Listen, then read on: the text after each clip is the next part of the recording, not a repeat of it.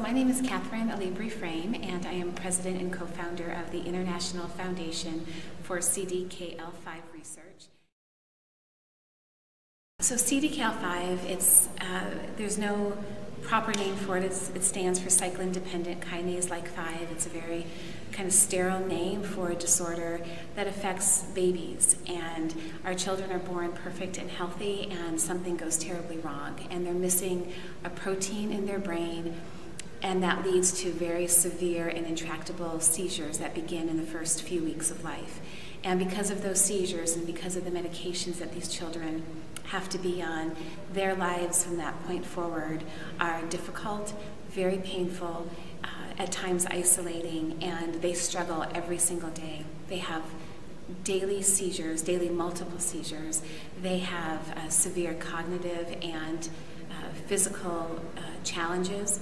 Most of them cannot walk, talk, feed themselves. Most of them can't hold a toy to play with. Um, many of them don't laugh or smile or make eye contact with their parents. And so many of them have trouble with their gastrointestinal system. Many require feeding tubes. Um, a number of our children have severe scoliosis, and because of the scoliosis, they have breathing problems. And so, this is a devastating disorder that starts with one organ system and involving epilepsy that really leads to just catastrophic, uh, you know, physical challenges for these children. And despite that, our children are the most beautiful, happy, precious, sweetest children, and the parents that have a child with CDKL5 will do anything to help those children. And so, all of us coming together, we've uh, there's strength in numbers, and we have committed to each other that we're going to work together, and we are going to do what we can to help our children.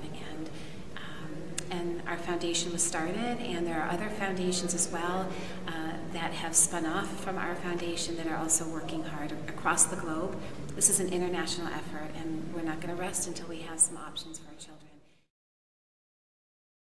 Our foundation was started in 2009, and we were able to quickly identify the kinds of things that we needed to do as the basis for all research to build on. And so we really put into place some of the key building blocks, such as animal models, cell lines, a patient database registry, a natural history study, and as a direct result of this conference last year, we started two CDKL5 centers of excellence in the United States and with plans for more.